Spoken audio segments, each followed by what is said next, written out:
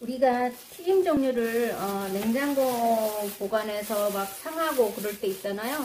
어, 바로 튀겨가지고 바로 튀겨가지고 냉동실에 제가 먹을 만큼 양만 한 번씩 먹을 양 음, 먹을 만큼 이렇게 조금씩 한 네다섯 네 다섯 개 비닐팩에다가 납작하게 눌러붙지 않게 이렇게 넣어서 얼려놨다가 어저께 꺼내 먹었는데 그대로 너무너무 맛있는 거예요.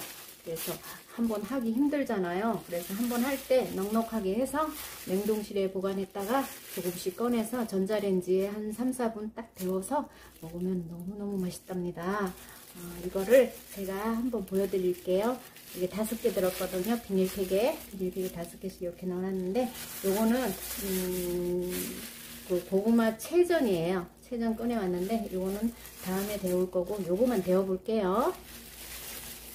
어, 이거를 제가 냉동실에서 또 꺼내왔어요. 이거는 저번에 잡채를 또 맛있게 해서 비닐봉지에다가 조금씩 조금씩 한 번 먹을 양만 이렇게 해서 넣어놨는데 어, 이것도 후라이팬에다가 달달달달 다시 볶아서 먹으면 정말 맛있답니다. 어, 냉동실에 넣어놔도 아무 까딱 없어요. 이거 보여드리려고 꺼내왔어요. 이거를 전자레인지에다가 데울 때 제가 그때 튀겨서 바로 이렇게 넣어놨거든요. 둘러붙지도 않고 이렇게 달그락달그락 해요. 접시에다가 적당한 크기의 담을 접시에다가 이렇게 담아서 네, 이렇게 담아서 이거 뚜껑을 이거 실리콘 뚜껑이에요. 뚜껑을 이렇게 덮어서 데워보도록 하겠습니다. 2분 50초 정도 데웠어요.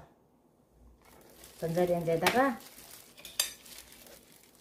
처음 튀겼을 때처럼 바삭바삭한 건 없어도 어, 이렇게 달라붙었네.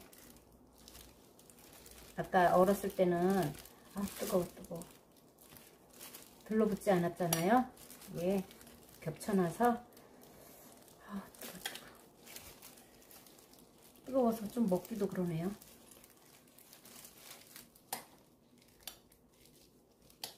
한번 먹어볼게요. 케찹에다가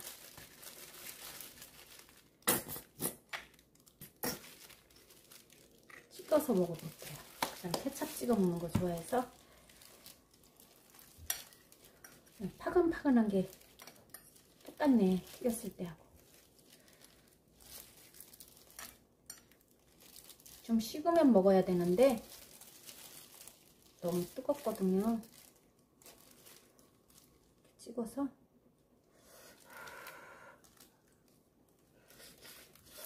음. 음. 전혀 물기가 없고 파근파근 똑같아요. 바삭박 바삭한 그 느낌은 없어도 그대로예요. 음. 이렇게 튀겨서 냉동실에 보관했다가 먹고 싶을 때 조금씩 꺼내 먹으면 자주 안 해 먹어도 잘 먹을 수 있고 참 좋을 것 같아요. 음.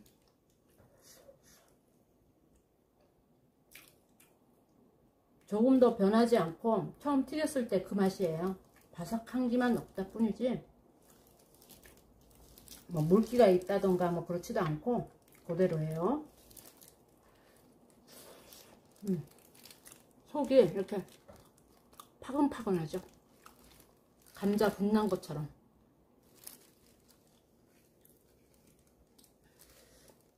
네, 음식 할 때 넉넉히 하셔서 냉동실 보관해서 이렇게 드시라고 또 보여드렸습니다.